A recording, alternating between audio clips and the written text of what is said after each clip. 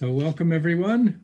Thank you very much for coming to the Tuleyome Nature and You lecture series for, for April. I'm gonna start just um, saying a little bit about Tuleyome. I, I, hope all of you know all about Tuleyome, but um, we are a small nonprofit. We're based in Woodland and we're a conservation nonprofit that focuses primarily on the northern inner coast range, which is the Berryessa Snow Mountain National Monument area. It's in uh, on the west side of the Sacramento Valley, near the mountains there. So it's Lake County, Napa County, Yolo County, Mendocino County area up there. In addition to this lecture series, we offer things like uh, California Certified California Naturalist class. We've actually got a accelerated class coming up in a couple of weeks up at Wilbur Hot Springs, which is in uh, Colusa County, just north of Yolo County. Um, we do a lot of other events, both virtual and in person now. So we've had virtual wildflower tours and we have some in-person wildflower tours this time of year. Uh, we, we sponsor hikes and trail building and maintenance. One of our big projects right now is the Woodland Regional Park, which is a old landfill that's just outside of Woodland, and we're helping to convert that into a public park. So we're doing plantings and and um, some some development out there to turn that into a, a public area. I'm going to have you guys stay on mute. And then if you have questions at any time, you can type them into chat. And if it's something that I think is important to interrupt Jonathan, I will interrupt him. Otherwise, we'll save the questions for the end. And um, after his talk, we will go through all those questions. With that, I'd like to introduce our speaker today. We have Jonathan Young. He is a wildlife ecologist and um, a little bit of his background. He got a degree in biology from San Diego State University and moved to San Francisco and began, began a long-term relationship with the Presidio, which is an area uh, just one corner of the city of San Francisco. I'm sure he'll describe the Presidio. Uh, he started out as a volunteer and he worked his way through several different internships and completed his master's degree in San, at San Francisco State University studying urban amphibian conservation and disease ecology. At that point, he was hired by the Presidio Trust as the first dedicated staff member with a sole focus on wildlife. Since then, he's been developing the Presidio's wildlife program, which includes surveying, monitoring, managing, and restoring the diversity of animals in the, found in the park. Uh, one thing I was going to mention is that we like to focus here at Tuleyome, we like to focus on, on the, the Berryessa Snow Mountain National Monument, which is kind of a wild area up there. But we don't we don't really live there. We like to visit there. We like to protect there. We like to conserve that area. We live in an urban environment. Just about everybody on this call, I suspect, is living in an urban environment. And nature does not only live in the wilderness, it lives in an urban environment as well. So that is what uh, we're going to be hearing about from Jonathan today. So thank you very much and welcome, Jonathan. Take it away. Yeah. Thanks, Bill. Hi, everyone. Um, thanks for having me here good to be given this opportunity, although not as fun as in real life, human to human. I can't see your faces, but I'll imagine all of them. Um, I'm just going to share my screen here. That. There we go. Good to go. You seeing that, Bill? Yep, it looks good. All right. Um, so I'm going to be talking about the bigger concept of urban nature and using the Presidio, what we're doing here in San Francisco, which is just at the very tip of the peninsula. It's part of the National Golden Gate National Recreation Area, which spans uh, three different counties. The Presidio is kind of the hub of the mm, uh, Golden Gate National Recreation Area. And I'm going to be talking about restoring na- urban nature, but through the perspective, through the lens of wildlife, which is really my area of expertise. Uh, before I get into the meat of all of this, I want to do a little bit of a, a silent visual uh, kind of an exploration. So I'm not going to say anything over these next couple of slides. So it's going to be silent. I just want you to see the, the imagery and just kind of let, let it flow over you. And then we'll, and then we'll talk about it. So here we go.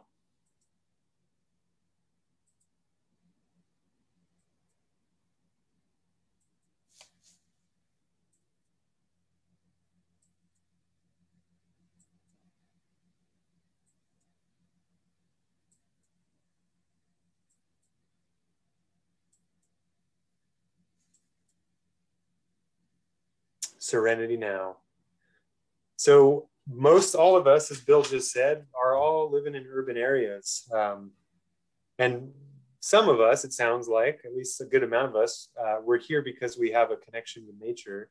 And we're fortunate enough, at least I'm assuming most of us, if not all of us, have the ability to escape these urban areas and get away to these wild spaces um, this is an image of urban areas around the world from 1950. The size and the color of the circle represent population density and city urban development.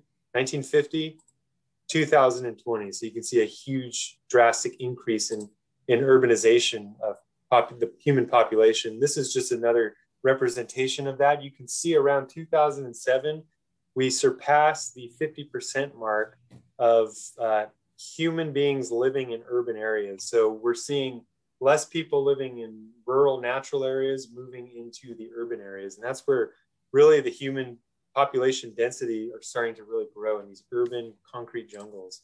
And again, very few of us have the ability and the means to get out to these grand open spaces, these uh, air quotes pristine spaces. And we are uh, more exposed to urban nature. And when people think of urban nature, they automatically think of vacant lots like this, um, unused, unkept, unsafe, unclean situations like this.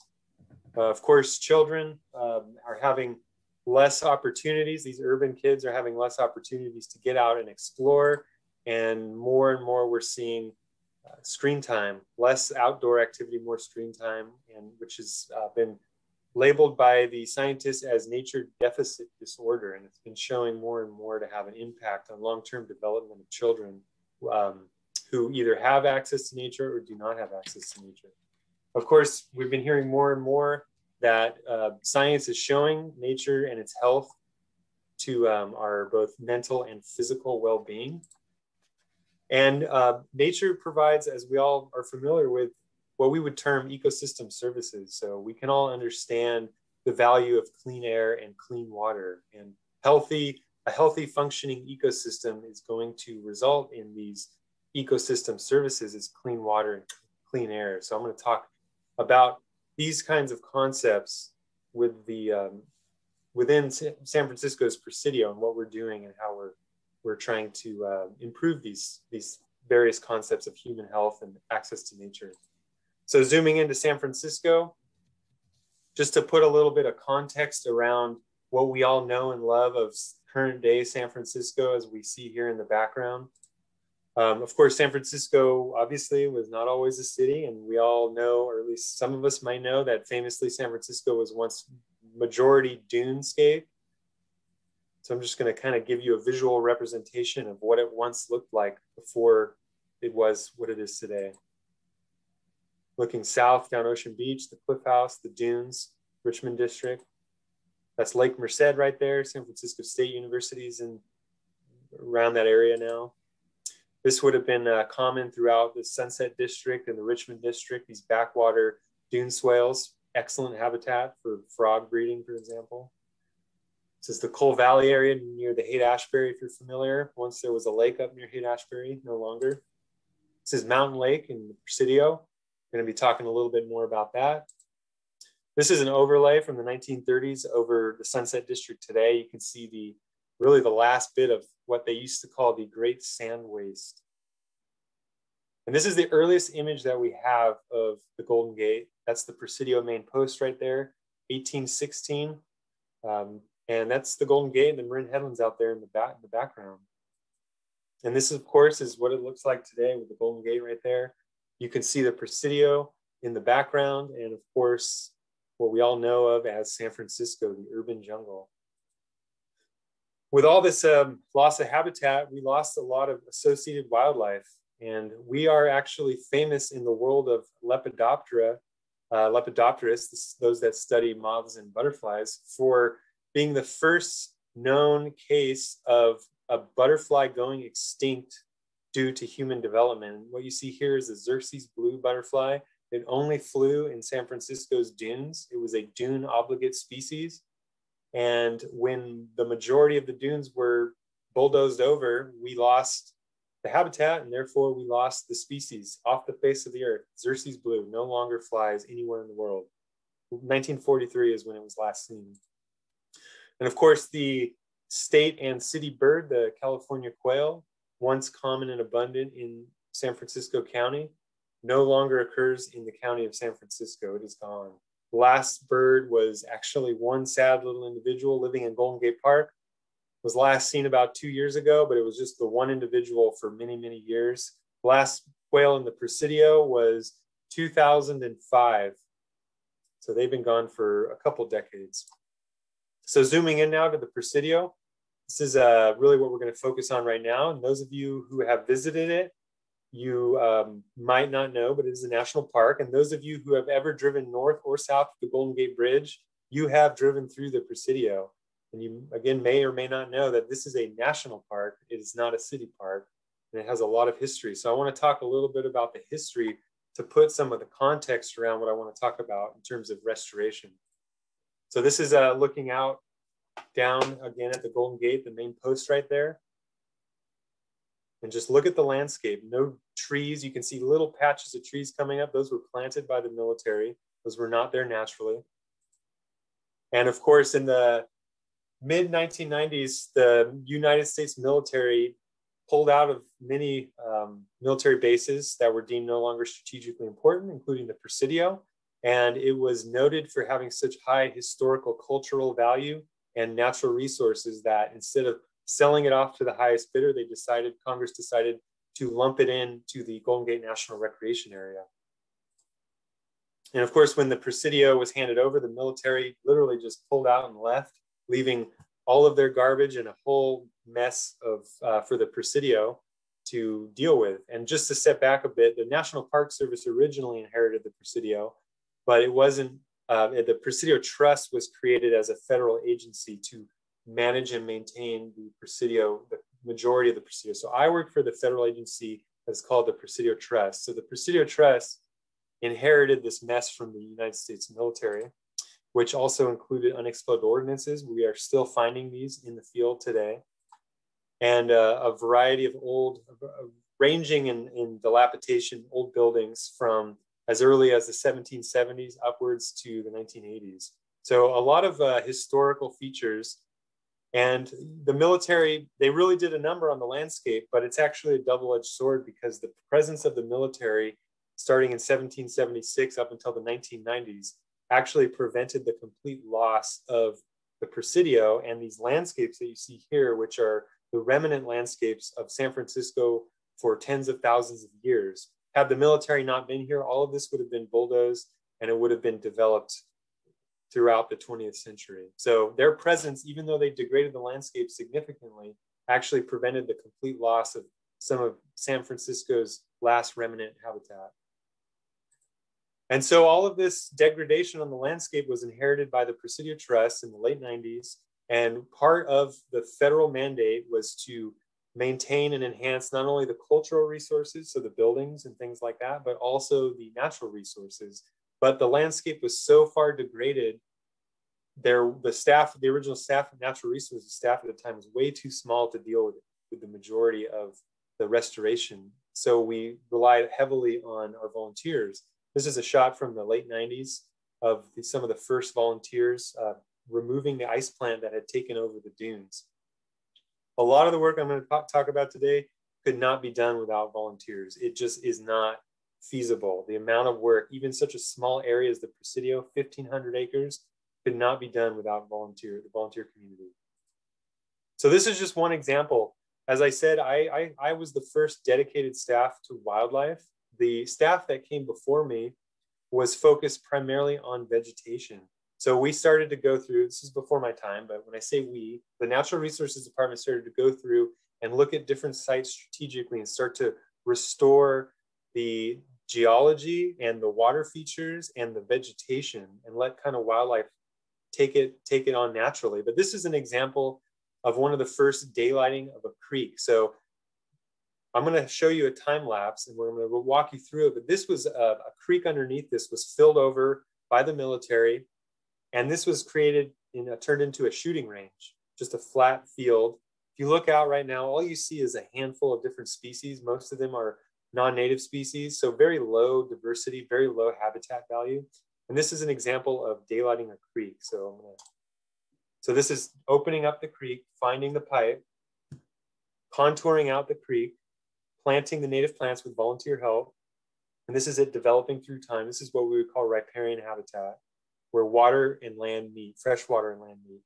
So you can see the drastic difference in, in structure. So it was a flat field to this highly structured, highly diverse plant life.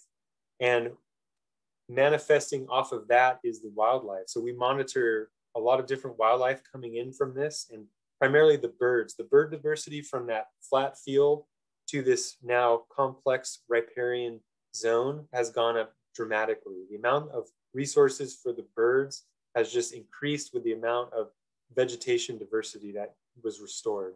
So that's one example of habitat restoration and building it. If you build it, they will come. So zooming into what my position is, I started, as Bill mentioned, I started as a volunteer around 2010 uh, doing habitat restoration. So weeding weeds and planting native plants.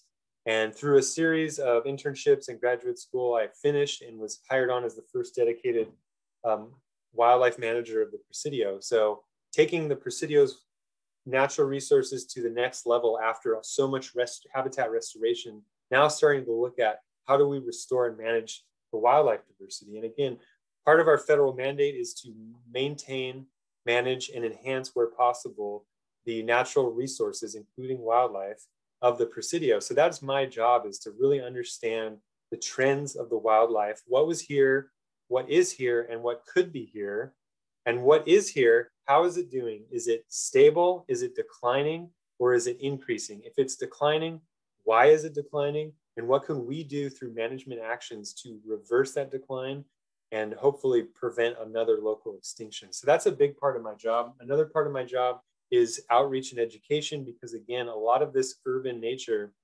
is the focal point, other than the nature itself, is the people that live in the Presidio and people in the city and tourists that come through and experience the Presidio. So we want to use these opportunities to, to educate the public, spread awareness about what's possible and why do we value urban nature. So I'm going to go through some examples of what I've been talking about, ecosystem services and wildlife conservation in the Presidio of San Francisco. So this idea, as I mentioned, if you build it, they will come. That was the mantra. That is really the main mantra of um, ecological restoration. If you restore habitat, most wildlife will come in on their own. So things like birds can come in from long distances because they're very mobile with their, with their flight. Other, other critters don't have such an advantage, but generally, if you build it, they will come.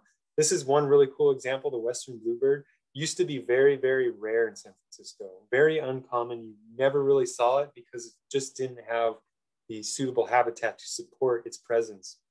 Over the last couple decades, this bird went from uncommon, rarely seen to very common. This, this bird is very common. You can see it almost anywhere in the Presidio, especially in our restoration sites. And you can not only see the adults, but every year you see fledglings, which means new generations every year. So this bird is increasing, especially over the last couple of decades because of habitat restoration. Another example of if you build it, they will come. This is the coastal green hairstreak, another dune obligate butterfly. Butterflies lay their eggs on what are called host plants. A host plant is very specific to the species of butterfly, meaning that the butterfly evolved over millennia to with a special relationship to a specific plant that it depends on wholly. In this case, with the coastal green hairstreak, it depends wholly on the coast buckwheat. It lays its egg on the coast buckwheat and its caterpillar hatches and can only eat that plant. It has a chemical dependency on that plant. If you lose host buckwheat, or if you lose the host plant of the butterfly, you lose the butterfly. And as I said earlier, primarily San Francisco is about 70% dunes. This butterfly would have covered most of San Francisco, but as it got paved over, so too did its host plant, and the, the population just plummeted. Fortunately, some dunes were left in San in the Presidio, and this tiny little butterfly, it's about the size of a dime, um, barely held on. So as we started to restore the dunes and spread the dunes back, including the host plant, coast buckwheat, so too did this butterfly start to spread throughout areas of restoration in the Presidio. And it's really been starting to really increase over the last five years. It's hopped over the golf course. And golf course doesn't sound that big, but when you're the size of a little dime, and any little gust of wind is going to be the biggest struggle in your life to fly against, hopping over a golf course and a highway is a big deal. And these little butterflies were able to hop over a highway and a golf course and end up in a new isolated dune patch where it took off over about a couple years ago. So we're seeing the spread as we spread our restoration sites, the spread of creatures like this butterfly. This is another example. If you build it, they will come. Obviously, that's the bridge in the background. For those of you who know, that marsh right there, the big one in the middle is Crissy Marsh. That was one of the first restoration sites in the Presidio in the early 2000s. That was once um, originally a marsh. Then the military paved it over as an air landing field and a train depot yard. In the early 2000s, they ripped all that up and created that marsh in the background. And the newest addition is what we call Quartermaster Reach, which is in the foreground here where that red crane is. That was only opened up a lot in the last couple months. It's about seven acres of marsh habitat where um, it's a brackish habitat. So to the left is where the creek flows down. That creek that I showed earlier, the daylighting of that creek, that creek flows down into this area where bay water, salt water meets fresh water, which creates a mix in what we call brackish water. And as most of you probably know, this habitat type throughout San Francisco Bay is one of the rarest habitat types because it's flat and very easy to develop on. So this brackish marsh habitat in the Bay Area is very rare because it's all been developed over. So this creates an opportunity connecting to the bay.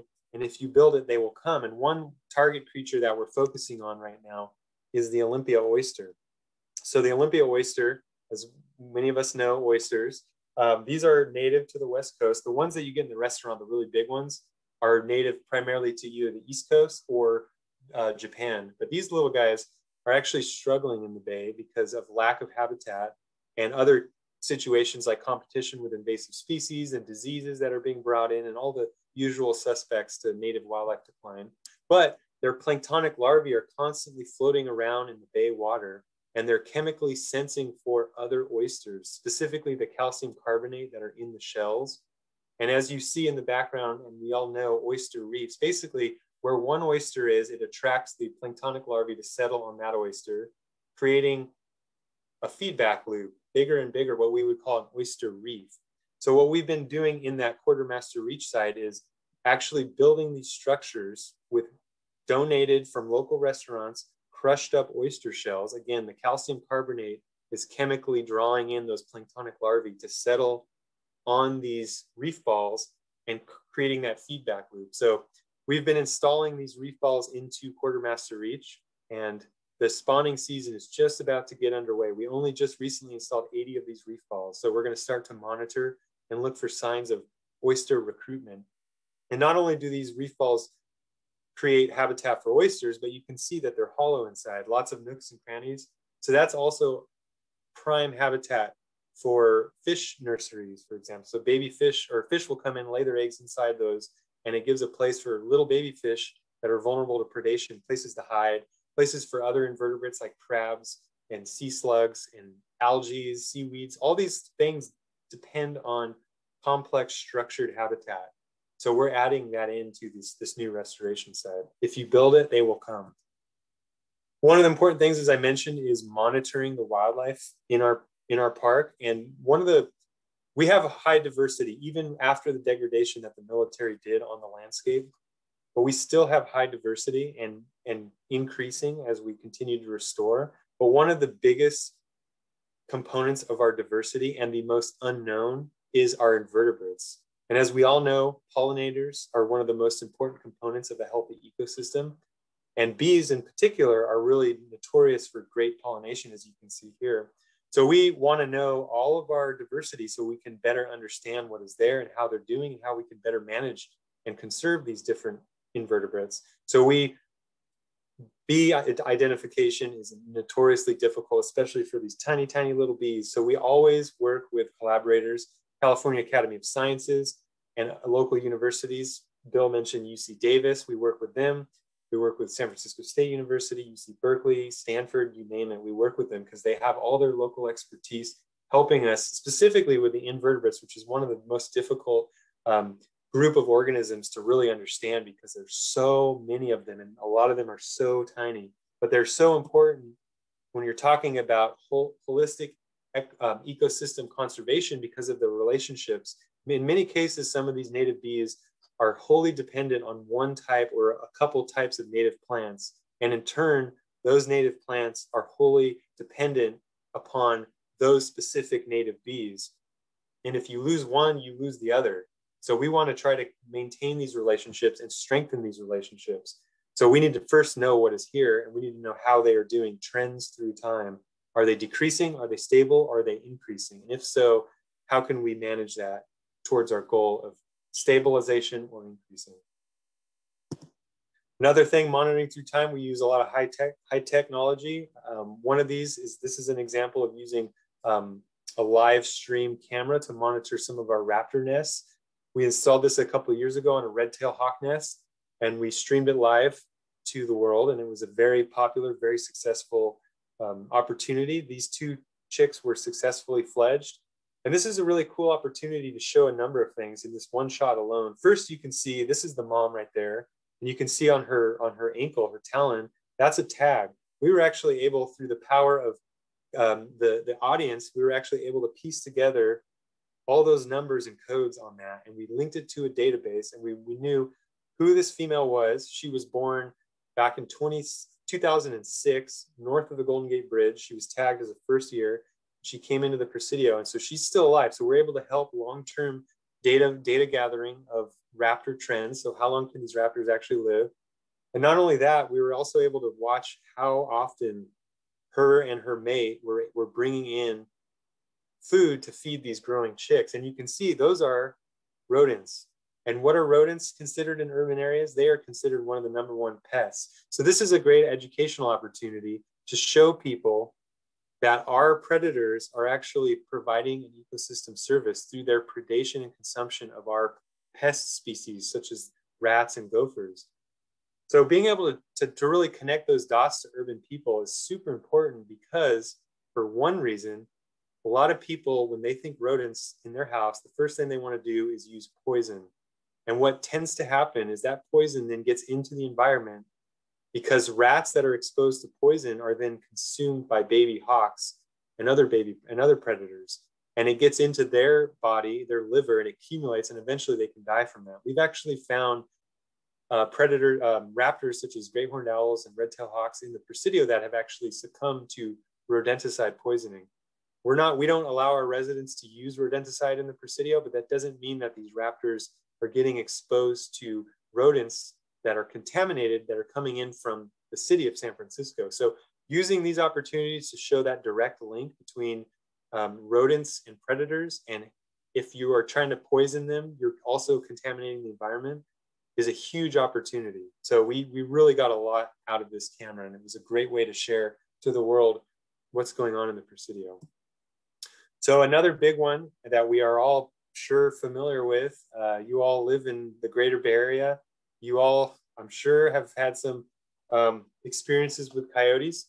And of course, they are no strangers in San Francisco, being one of the most urban areas in the Bay Area. And they are, uh, they're all, all in San Francisco. They were actually missing from San Francisco. They went locally extinct in the around the late 1920s.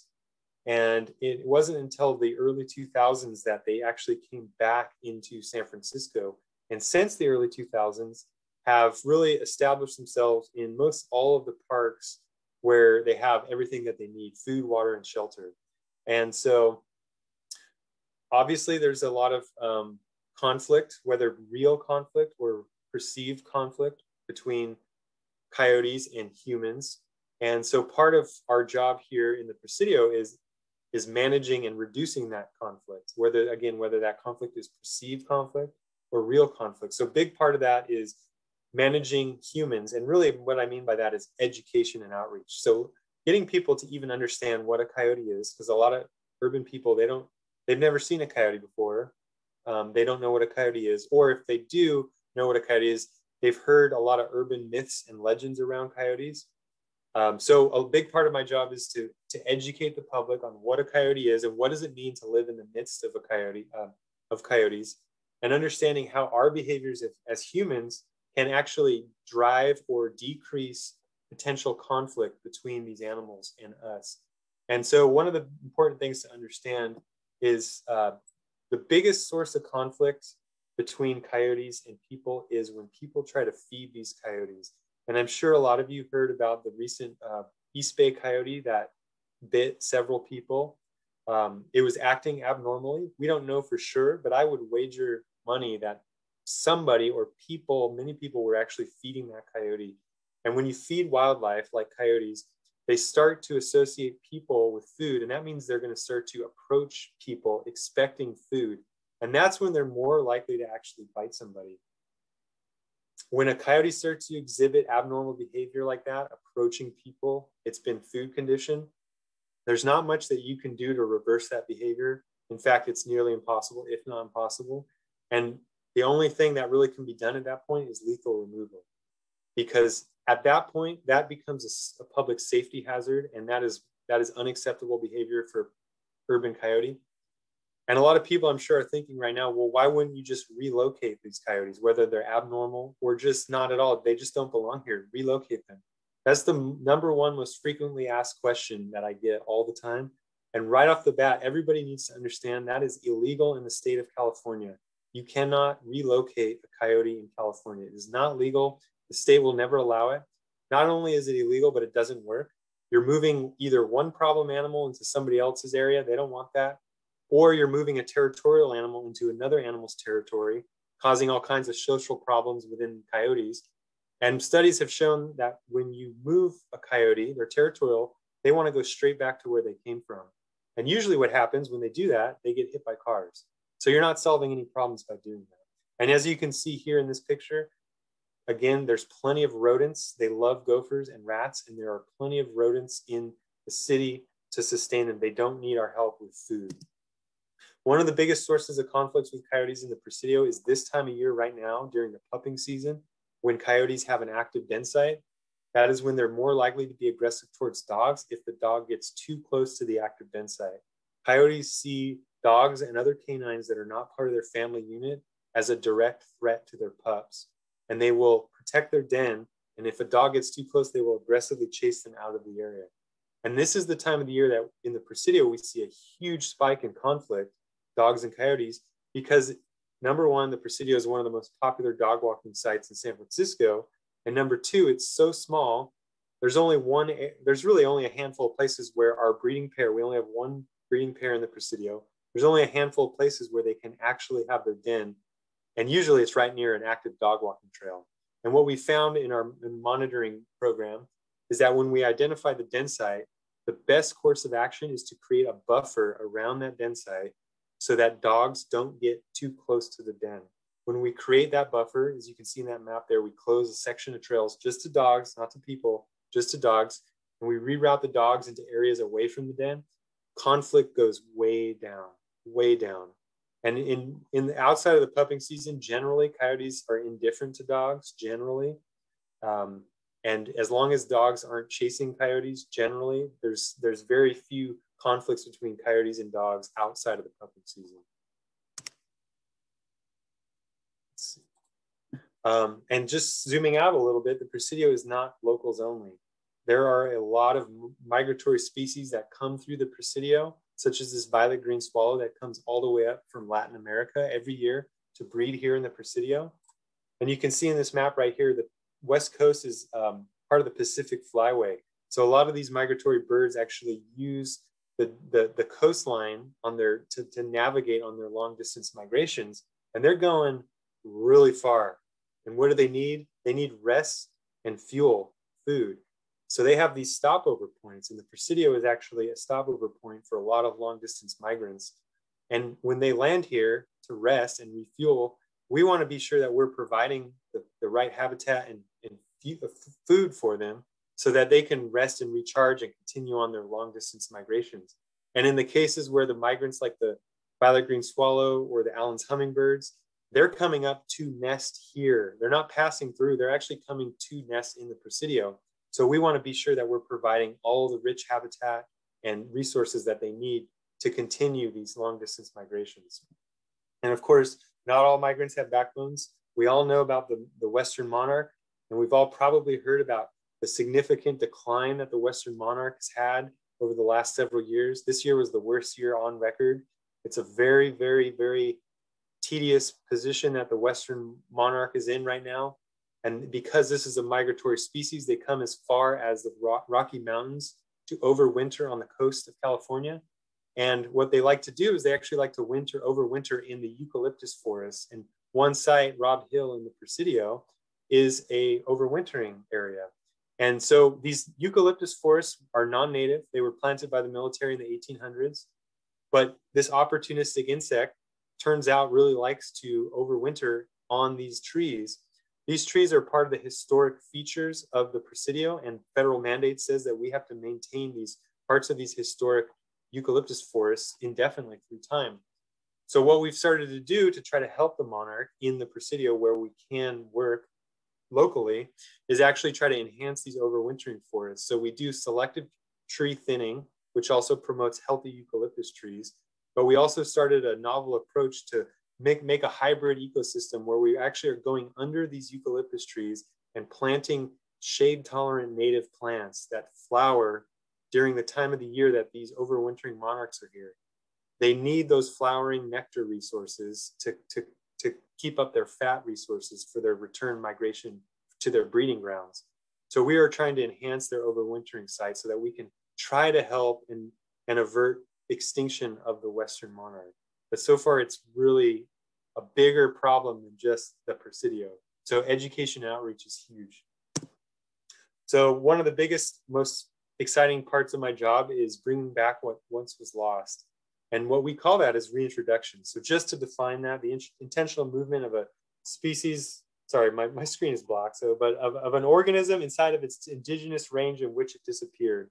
So um, looking back in the museum records, we know a lot of the wildlife diversity that was once in the Presidio and looking, doing um, surveys in modern times, we know what was lost and doing a lot of habitat restoration and addressing the reasons why these species were lost, we can start to talk about potentially bringing back some of these species. So we've been really getting our feet wet over the last five to six years. This is one of the first examples. This is the variable checker spot butterfly. It was last seen in the 19, late 1970s in the Presidio. It was lost primarily due to loss of its host plant. And in, in this butterfly's case, its host plant, it has about two or three different host plants, but the primary host plant in this area is California bee plant, Scrophularia californica. And so as we've restored many acres of that bee plant and the habitat with all the nectar resources and flowers that the adults depend on, we started to say, well, why can't we just reintroduce this butterfly? And we know that this butterfly is too far away. Its the closest population is too far away. This butterfly, unlike the, the monarch, is a smaller, lazier flyer than the monarch. So it, it could never fly here on its own. So even though we built it, this lazy flying butterfly could never get here on its own. So we took it upon ourselves to go to the local population south of here in San Bruno Mountain, about seven or eight miles, collect a lot of about a thousand caterpillars off of their host plant, bee plant, drive them back to the Presidio and put them right back onto the bee plant in the Presidio. We did that for two years, 2017, 2018, and stopped doing the translocations in 2018. And now, 2021, they are just thriving. These butterflies are all over. Right now is the flight season. So if you happen to be in the Presidio in the next couple weeks, you cannot miss these butterflies. They are taking over the park in, in a good way. This is a, a one holistic project I wanted to quickly talk about. If you see in the lower right-hand corner, that lake right there, that's, um, that's Mountain Lake. That's Highway 1 right there. So if you've ever driven on Highway 1, north or south of the bridge, you've gone right next to Mountain Lake and you probably didn't even notice it. It's a natural lake, about 2,000 years old, and it has undergone a crazy transformation from the over the last 2,000 years from a pristine, beautiful lake that the indigenous Ohlone would, would have been using for resources to a cesspool. Uh, the military, again, just kind of degraded this lake to the point at which it became a toxic cesspool full of seasonal algae blooms that cause seasonal fish die-offs, uh, mosquitoes, a lot of mosquito issues. It just smelled really bad. Um, toxic runoff from the highway, lead contamination and other heavy metal contamination into the sediments of the lake. Um, when the Presidio Trust inherited this lake, it was a mess, a toxic mess. So we decided to say, well, can, let's restore this lake. Let's let's come up with a plan, a master plan. And this started in the year 2000, so a long time ago. But really, the, the ultimate goals here are three, three, threefold, and they're all interconnected. In, improve water quality, increase native biodiversity, and improve public awareness through education and outreach. So all of those are really tied into each other. And um, this is kind of an idealized picture that we created, a, a, rendition of what we, we, we our, our objective and our goal, ultimately what the lake would look like in terms of biodiversity. So a lot of these native plants and underwater plants and aquatic animals that were lost over the centuries, could we actually bring them back if we restore water quality and ecological health? So we started to address the reasons why the lake was in such bad health.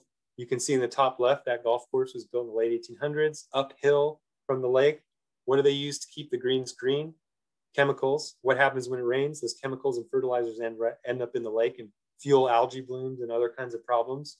So we work with the golf course to stop or reduce their use of chemicals, creating different barriers to um, catch the stormwater runoff and hold it and let it percolate and clean before ultimately getting into the lake. Um, to the right, you can see the invasive species that the community, the, the Richmond neighborhood over the 80 years of the neighborhood developing started to release into the lake, whether for recreational fishery, fisheries or for uh, unwanted pets. All of these invasive species cause all kinds of problems with ecological health, which resulted in the decline and local extinction of a lot of the native wildlife. And then on the bottom left, you see a barge there with the highway. I said there was a lot of highway runoff, lead contamination, etc. That barge was actually a, basically a big underwater vacuum cleaner that sucked up and cleaned a lot of the lead contamination out of the bottom sediments.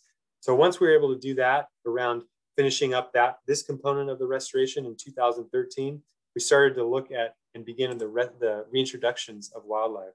So this is the only native aquatic turtle on, in California, the western pond turtle with a collaboration with San Francisco Zoo, they had started um, basically uh, reared baby turtles in the zoo under ideal conditions to the point where they were no longer vulnerable to predation. And in 2015, we released 55 of these turtles into Mountain Lake. These are long lived turtles, they can live up upwards of 80 years. And you don't really know if you've succeeded in a reintroduction project until the organisms start to reproduce on their own and sustain through, through new generations.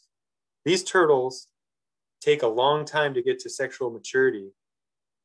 So we weren't sure when or even if they were going to be able to have a successful nest in around this area where there's very limited nesting habitat. And even if they do nest, there's a lot of predators and, and other dangers like cars and lawnmowers and golfers, things like that. So it was kind of a long shot. We really didn't know what we were doing. This was never been done before in an urban area. But I've got some really great news, very appropriate for Earth Day today. This Monday, we were out at the lake doing something unrelated, and we happened to find the very first confirmed baby Western pond turtle born and bred in San Francisco in probably over 80 years, maybe even more than that. So this little this little creature is only the size of a quarter and so this is a big deal in terms of Western pond turtle conservation and specifically the mountain lake reintroduction because uh, reproduction is, is really important. So great news for Earth Day. We started to reintroduce the native chorus frog, Pacific chorus frog.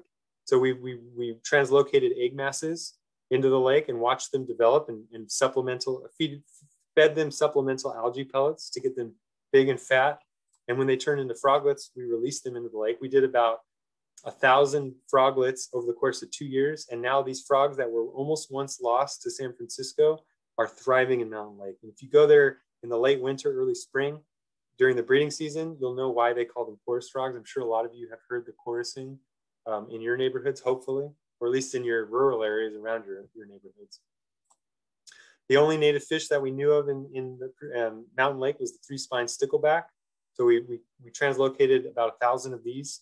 And um, when they, they started to breed immediately. So that was a very successful um, reintroduction. But these are really important in terms of what I talked about earlier, ecosystem services, because they like to eat mosquitoes. And if we're talking about restoring or even creating aquatic water bodies in urban areas, one of the number one red flag knee jerk reactions of the public is, oh, great, now we're going to have mosquito problems.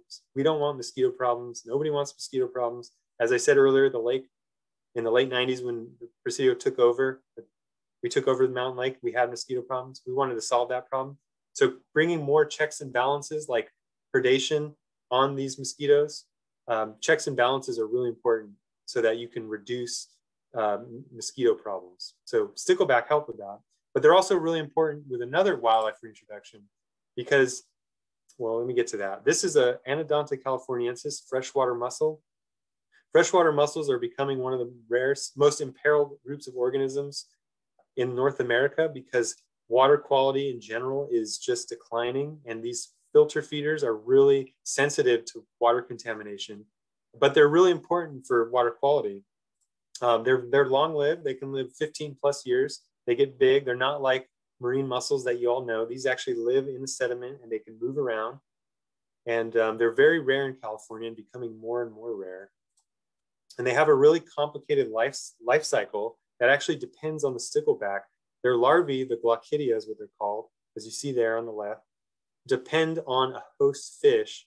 The female broods her, her brood in her gills, the glochidia. When a fish comes by, she spits them out they clamp down onto the gills and the fins of the fish without hurting the fish, and they absorb nutrients for a couple weeks before dropping off into the sediment and starting all over again. So if you don't have a host fish like the stickleback, you cannot successfully reintroduce this mussel. If you lose the host fish, you're going to lose the mussel. Another reason why these mussels are declining throughout California and the United States. So as we restored the stickleback, we were able to restore the freshwater mussel. Another example of an ecosystem service, they're filter feeders. They're constantly cleaning the water, pulling out little particulates as food.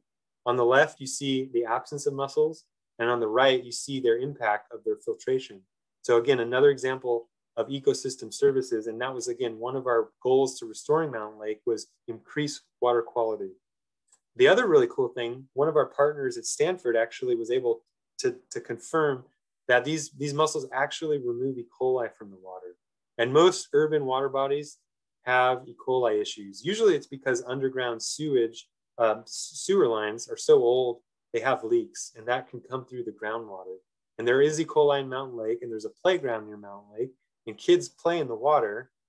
We don't want to, we don't want E. coli. We want to clean that up. So these mussels, we have tens of thousands of these mussels now in the lake, constantly filtering the water. They're basically little biological filters they are the underdogs of water quality and they're really unknown to the general public. So these are really exciting animals, really cool animals, really important animals. Another really cool animal is the, uh, this is a damselfly, basically a small dragonfly. This is one of the rarest damselflies in North America. It's called the San Francisco fork-tailed damselfly. Um, they only they only exist in a handful of places these days, so they are very close to extinction. So another partnership with San Francisco Zoo, they actually catch the few that remain and they breed them in their facilities. And, and it actually have results has resulted over the last couple of years of tens of thousands of their they're called naiads. They're baby, baby damselflies. You can see the tails hanging off their abdomens. Those are actually their gills. These are fully dependent on water as young. They, they have they live underwater and they're voracious predators but they need clean, healthy wetlands and lakes like Mountain Lake to survive. And most wetlands in San Francisco and the Bay Area have been plowed over or contaminated or infested with invasive species. So these species, this species is incredibly rare, almost extinct, and we've been bringing it back slowly, starting to gain traction. Another great example of an ecosystem service. These, voracious predators love to eat mosquitoes. So again, bringing back these checks and balances, predation pressure on our pests like mosquitoes are really going to help us reduce mosquito outbreaks.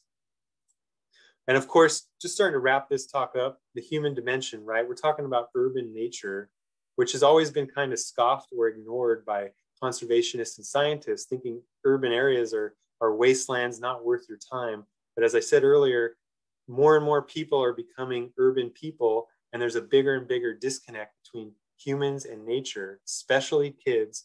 And how can you talk about conserving a rainforest down in Amazon, the Amazon, or some far off place?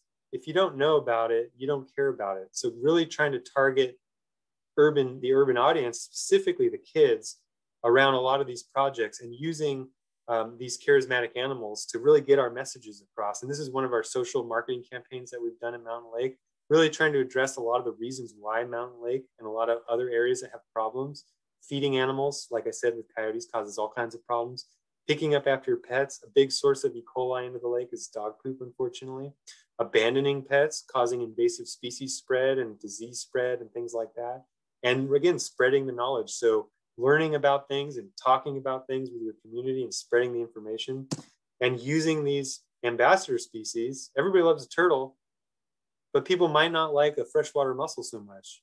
But when you start to talk about the connections between turtles and mussels and all these other really intricate connections and how important they are for everything, including us as the urban audience, people really start to understand and start to value it and start to appreciate it and want to protect it.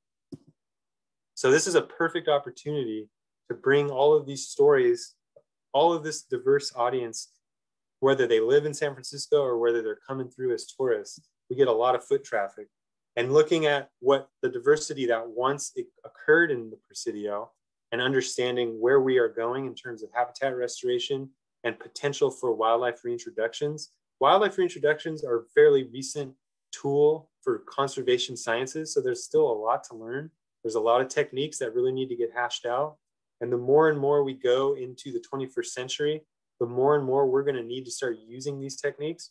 So using the Presidio as an opportunity to experiment on what does it actually take to reintroduce successfully these different types of species. Each species has its own biology, has its own place in the ecosystem, has its own uh, needs and resource needs and everything. So here's a, a just a, a snapshot of some of the potential species that once occurred in San Francisco or once occurred in the Presidio that we are starting to seriously consider can we actually bring back these different organisms into the Presidio? And again, using all of these as stories to engage the public and also provide benefits to us through ecosystem services. So just to recap, why does it matter? Ecosystem resilience. I didn't really touch on that too much, but the more complex an ecosystem is, the more resilient it is. And when we start to talk about climate change and really the unknowns of how that's really going to pan out, the best course of action that we can do right now to try to protect our ecosystems is to promote complexity. Complexity is going to be more resilient in the face of change. Ecosystem services, I hope I gave some pretty clear examples of that, but these plants and animals should exist in their for their own right but they also benefit us through the services that they provide, like predation on rodents and mosquitoes, uh, clean water through their filtration, things like that. Sense of place, the biodiversity that occurs in San Francisco, the combination of species occurs nowhere else in the world. San Francisco Bay Area is a globally recognized biodiversity hotspot. And so having this, this sense of place, knowing your local plants and animals, the local flavor, it, it's it's it's pride in the place that you live but it also is just it's it's nice to be able to go somewhere else and see that local assemblage of plants and animals so to have we don't want a monoculture across the world because that would be boring we want to have local flavors and the bay area san francisco is globally recognized and then of course mental and physical health we talked about that during the pandemic being shut up in, indoors for so long I think we can all really understand and appreciate the value of having access to natural areas. And if you're fortunate enough, you can drive far or fly far and visit some of these really remote areas. But most urban people, they don't have that luxury. And some people just get off work and they just want to go for a stroll down a trail. They don't want to go on a long road trip. They just want to go stroll and just relax. So really, I think people really understand after COVID the value of having urban nature and access to that urban nature. And again, just to just to finish this off, as we continue into the 21st century and urban areas are expanded upon or retrofitted or even created, we want to think how do we want our urban areas to look? Do we want them to continue this concrete jungle, this traditional look, or do we want to be more thoughtful with integrating nature into our urban areas? So the Presidio is really on the cutting edge of what is possible in the future of cities. So I'm going to end on that note and thank you. I hope I didn't go too long. Wow, that was great, Jonathan. Thank you very much. That was really, really interesting. I, I especially love the story of the mountain lake. And I'll start with a question. Um, I'm curious about Mountain Lake. So, so it sounds like you've been really successful in restoring it. But in an urban environment like that, it's going to be a, a continuous yep. long-term project to keep that in a good condition. Because, I mean, I mean, you know that obviously. Uh, that's why that's why community involvement and education is essential. And management is never. We're never going to be at a time where we can just walk away. And that really, you know, in this day and age, there's really nowhere in the world that is pristine. It's the human impact is just everywhere. And honestly, ma- management for conservation is at some level is always going to be necessary. And in urban areas, especially, obviously, but even in, in Yosemite, I mean, obviously, Yosemite gets a lot of foot traffic, but some people think of Yosemite as like a wild space that's natural, but they're managing that constantly. Management is is it's never going to end. The, the project I was mentioning that we're working on is an old landfill, and we've got a, a, wetland there, which is going to be a permanent wetland. And we're close enough to a natural population of western pond turtles. We, we think they're gonna they're gonna populate it naturally. Um, but we're really concerned people are gonna drop in red-eared sliders and bullfrogs and goldfish and all that stuff. And we don't have near the kind of population you do. I caught four red-eared sliders this week. Wow. Those were only recently put into that lake. Wow. Oh, and also the mussels. You said that I'd never heard of that mussel before. All I hear about for freshwater mussels is the invasive mussels. No, yeah, that's that's if, if, if most people don't know about freshwater mussels, and if they do, they think exactly like, oh, they're all invasive. But it, it's it's really unfortunate because they're really cool, interesting organisms with the whole parasitic life cycle. And they're becoming more and more rare. And it's really tragic because they're so important to water quality. Uh, but people just don't know about them. And they're just they're just going to disappear under our noses so i wonder if we have an opportunity to introduce those in our little you send me an email because we actually are starting a network of and we have this big project that it, i think you would if you have the habitat we have the material great Okay, so there's a question from Adam. He's saying, could you briefly describe how geologically dune habitat forms and how it is restored? So dune habitat, you got to think really big, right? So a lot of that sand that's coming now is getting with the high, the tides coming in and out of San Francisco Bay, they're pushing out a lot of sedimentation. Some of that sedimentation is coming from all the way up in the Sierra Nevadas through erosion, and it makes its way down through the Delta, through the Bay, out out the Golden Gate. Currents take it. Currents push it against Ocean Beach, which is the main western edge of San Francisco. Currents and wind push that stuff up. If anybody's familiar with San Francisco and has driven on the Great Highway, which is the last road that runs parallel or used to run parallel, um, it's constantly being covered with dunes, shifting sand, and they're constantly have to bulldozing it to clear it off. So it's constantly sand coming up from the ocean and would have been blowing over all of San Francisco. We didn't, that doesn't happen anymore to that extent. So what we do when we restore dunes, we actually get dune sand from local projects. So if anybody's ever been to California Academy of Sciences in the last eight years, you'll know, or the DeYoung Museum, you'll know that there's an underground parking lot. When they dug that out, they actually exposed historic dune sand and they had to get rid of it. And they heard, hey, the Presidio is restoring dunes we have a lot of dune sand. You want it? And it's like, absolutely. So we'll go in, we'll take it, we'll identify a site, we'll clear it out, whatever needs to be cleared out, whether if it's military contamination or invasive plants or all of the above. And then we'll, we'll bring in the sand. And then we have our own native plant nursery and we grow our local native plants from local genetics. And then we plant those plants over the course of several years with volunteer help. And we, we manage and maintain that, that site until it becomes self-sufficient. And then in that case, we have we can scale back our management and our efforts on it because it's it's established enough to where it's pretty self-sufficient. We do have to go in and do cleanup work with invasive ivies that will creep and crawl through time. But generally, that's kind of how dune restoration is done. Okay, I have a question about um, the the California quail. So in the in our local mountains, we have a, a abundance of California quail. They're everywhere. So, are you? Is there any ideas of reintroducing them? Yeah, and now that I know that you have a lot of them, I might come ask you for some.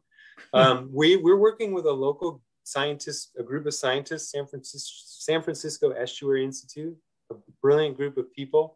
And what we've been doing is exploring the feasibility of that project. It's a really complicated project, and so we want to start with a solid foundation of scientific um, evidence to back it up. So what they've been doing is actually using eBird. If anybody's a birder, you know eBird. It's it's basically a community science app to upload your your birding observations. They've taken quail observations from across the state of California in urban areas, and they've developed mathematical models to compare to the parameters, the habitat parameters of the Presidio. So why do the quail survive in urban parks, say down in Southern California? What parameters of those parks are mathematically significant in supporting quail? And then what in the Presidio is close or can be modified to improve and increase those likelihoods? So we're really exploring the very initial phases of that, but we want to really be 100% certain because it's a very complex project.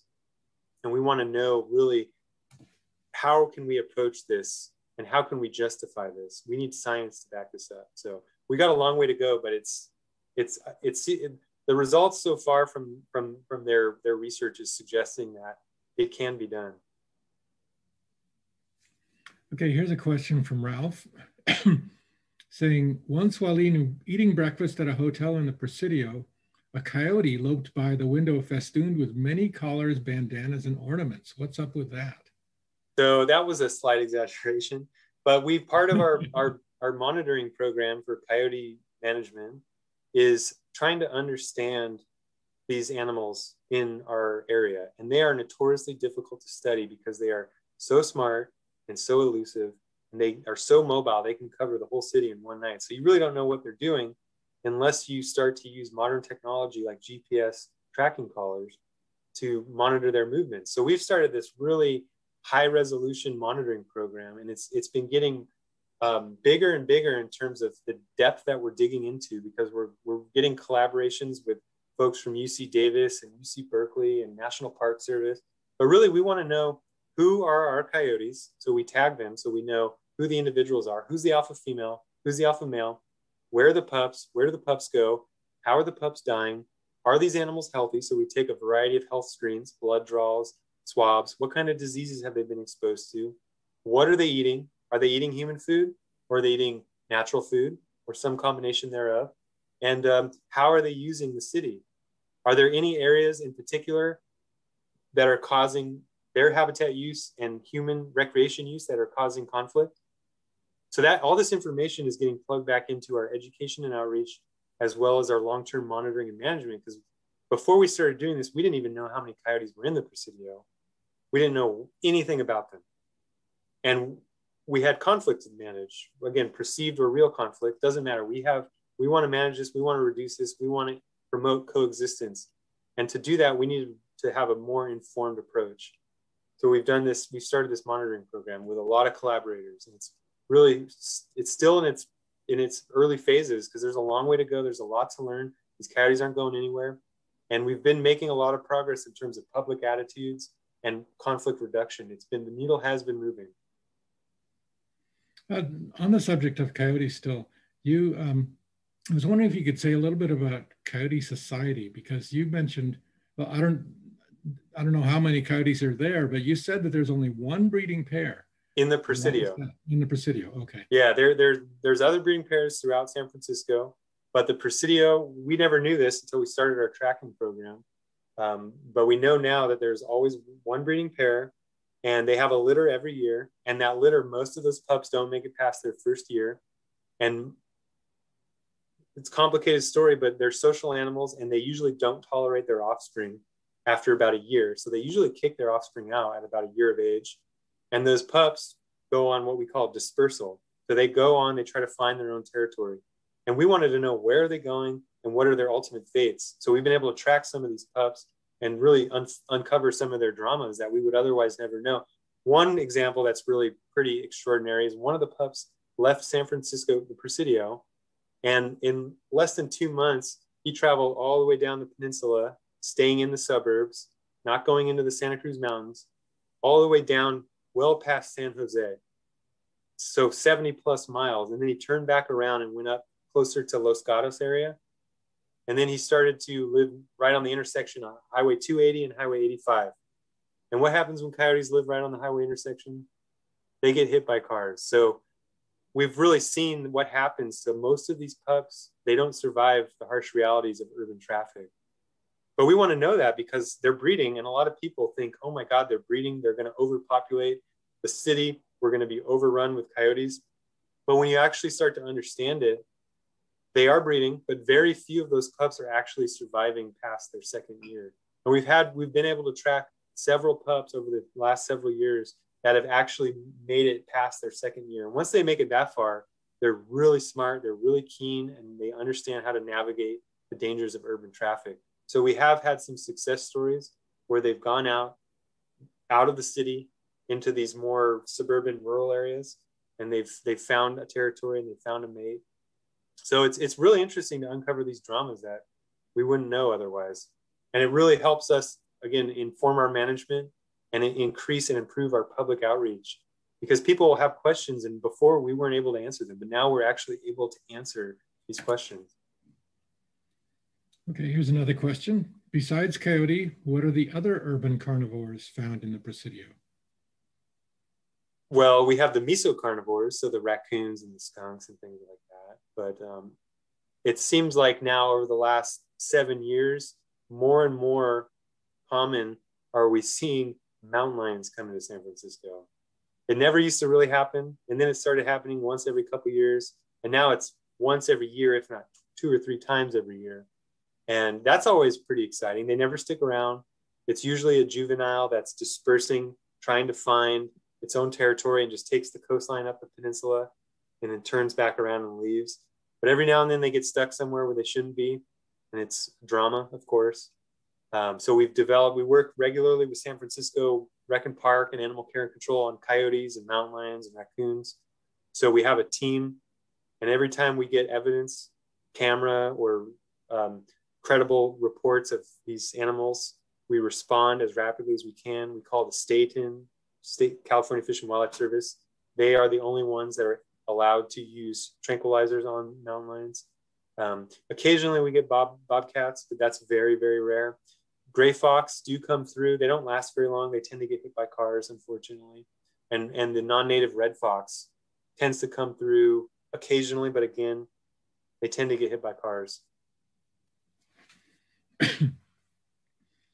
okay. Um, there are no other questions in the chat. Anybody have any more questions? I see uh, um, Anne has a question raising her hand. Oh, I missed that. Um, Anne, do you have a question? Feel free, Anne, if you uh, still have a question. No, I don't have a question, um, but I wanted to tell you how much we've enjoyed your presentation and thank, thank you. Thank you. All right, thanks, Anne.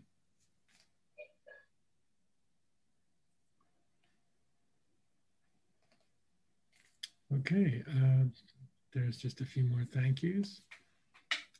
I'm sure as soon as as soon as we leave, I'm going to have questions. yeah, there was a lot to talk about, and and you know, trying to give a big picture. I, there's so many details I'm not able to go into, obviously, but um, just to at least give a, a good, big, broad brushstroke of what's going on in the Presidio right now. Um, and a lot of, I'll just say a lot of municipalities around the Bay Area and even beyond. I got an email from someone in Texas last week. They're reaching out to us for for help, whether it be coyote management or urban wildlife restoration and monitoring or education approaches. So there's it's really a new field. Urban conservation and urban ecology is it's really a 21st century thing that we don't have a lot of knowledge on. And it's a really cool pioneer because again, traditionally ecologists looked outwards. They didn't even consider potential in urban areas. But now more and more people are really starting to understand, hey, wait a minute, there's something to this. And we have a huge gap in our knowledge. So it's really cool. And, and I'm one person, I got a lot on my plate. My favorite part of my job is being able to collaborate with scientists. It's so fun because they are the brains and I get to I get to be part of their work and they help me with my management, my goals, conservation, and we help them by pushing the science forward. So it's really great. That's one of my favorite parts. Yeah, that, that is really fascinating. Uh, and there were a couple more last minute questions here. So um, one question about feral cats, domestic cats, where do they fit into the picture? That's a great question because that is a very urban reality. So the Presidio used to have a feral cat problem. Problem depends on how you define it. As an hmm. ecologist, it's kind of a problem because um, they, of course, prey on native birds and lizards and things like that. Um, we there used to be a big feral cat colony, and we were trying to trap and relocate them, but that was not doing so well. Um, and it's probably one of the main drivers of why the California quail went locally extinct. Um, but as I said, in the early 2000s, coyotes came back, and there are no, there's no longer that cat colony in the Presidio. So I think that's a combination of things: our, our relocation efforts, um, and hopefully public awareness. Stop, stop releasing cats, but um, coyotes, I think, had a big role in that potentially. But again, now that we're talking about restoring California quail, well, why did they go extinct in the first place? A lot of reasons, but cats were certainly one of them. Do you have the cat problem anymore? No. Okay, well, that's a positive towards the project of restoring quail. Okay. I, I just wanted to share you a story I have from when I lived in San Francisco. I lived in uh, a little apartment with a tiny, tiny backyard, and I tried to do a little bit of gardening, and I there was just a little space, a real sandy soil, and I thought I'd plant something, and I was really surprised when I dug up a little newt. So there's uh, was it? A, it was probably a slender salamander, the ones that are almost like look like worms. I I think that's what it was. Yeah. yeah. So I was really surprised that those are surviving in the middle of San Francisco. One of the most common vertebrates in California because they are everywhere, even in the most urban backyard in San Francisco. Oh, that's great. I had a question. Um, yeah. So I actually am a preschool teacher, and we're having our whole class outside in Presidio every day, mm-hmm. through Friday. And we've had this ongoing mystery that we've been trying to solve. And um, basically, in September, there was 11 dead fish in the parking lot and we were wondering like why were there so many dead fish in the parking lot? And i was wondering if you had any insights. Oh yeah. The mystery of the random fish it's come up. It happens. I was in this national cemetery doing some coyote work and all of a sudden a bunch of little uh, sardines fell from the sky and landed on me. Um, pelicans Oh, wow. Yep. Okay. That is incredible. So yeah. it's not figment of our imagination. This is a thing that happens. Yep. It's not often, but it's they they they get their mouths full and they fly and they drop some. Wow. Do you think so? Is that like a whole flock of them, or is it? Like- uh, I don't. I don't know. I think it could just be an individual, or maybe, maybe I'm not too sure exactly, but we we were definitely able to confirm it one day. Hey, there it is. That's what. That's the cause of it yeah, that is so cool. I'll I'll be really excited to get their thoughts about this. The kids will love that answer too. Yeah. Yeah, if you go to Crissy Field in the marsh, you can usually see the pelicans hanging out there too. Cool. Wow. Yeah, I, I don't live that far from Crissy Field, so yeah, it'll be a fun adventure to check them out. Thank you so much. Yeah, definitely. See you in the park. Yeah. and would it be okay if people contact you? Yeah, sure. Um, I would say uh, you can email me if you have any questions or anything. J Young, J Y O U N G at presidiotrust.gov. And there's plenty more information on the Presidio's website, presidio.gov. And um, yeah. Okay, I'm typing it in the, the chat. So J Young at Presidio dot Presidio Trust. Presidio Trust. Dot .gov. Okay, great. Thank you, Jonathan. All right, any more questions? I think we're going to let you go. So thank you very, very much, Jonathan. It was a really good talk. Really appreciate it. Yeah, absolutely. Thank you. Okay, bye, everybody. Thanks for coming.